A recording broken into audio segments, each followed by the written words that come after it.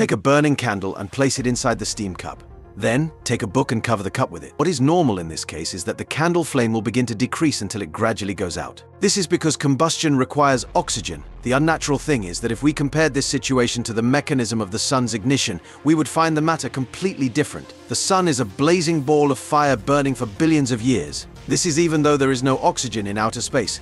So how does the sun burn? The sun doesn't burn the way things burn on Earth. The sun depends on a nuclear process known as nuclear fusion, not on chemical reactions similar to the burning of things on Earth, which requires oxygen.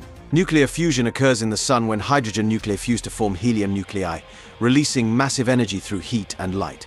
This process occurs in the sun's hot, pressurized core, requiring enormous temperatures and pressures. As for oxygen, it is present in small quantities in the sun's atmosphere, but it is not sufficient to support the combustion process as we see on Earth. In space, the sun and other stars are sources of light and energy as a result of nuclear fusion,